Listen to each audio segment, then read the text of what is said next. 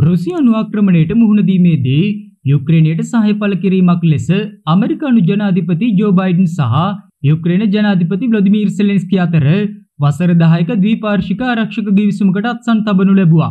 ඉතාලියේදී පැවැත්වෙන G7 නායක සමුළුවට සමගාමීව මෙම ගිවිසුම අත්සන් කර තිබෙනවා.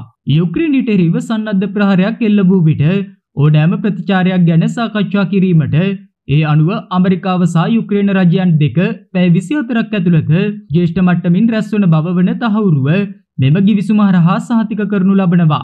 නේටෝ සංවිධානයේ සමාජිකත්වය සඳහා යුක්‍රේනයට මෙම ගිවිසුම විශාල සහයවීමක් ලෙස සැලකෙනවා. යනුවෙන් ජාත්‍යන්තර විචාරකින් සඳහන් කර සිටිනවා.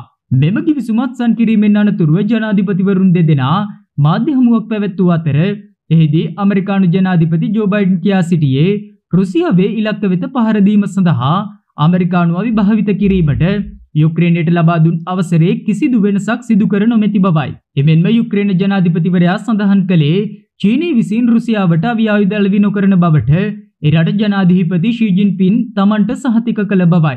නමුත් එම සහතිකය කවදා කෙසේ සිදු කළාදැයි යුක්‍රේන ජනාධිපතිවරයා හිදී සඳහන් කළේ නැහැ. මේ අතර බ්‍රිතාන්‍ය අගමැති රිෂී සුනක් සහ යුක්‍රේන ජනාධිපතිවරයා අතරද හමුවක් සිදු ඇති බවයි වාර්තා වන්නේ.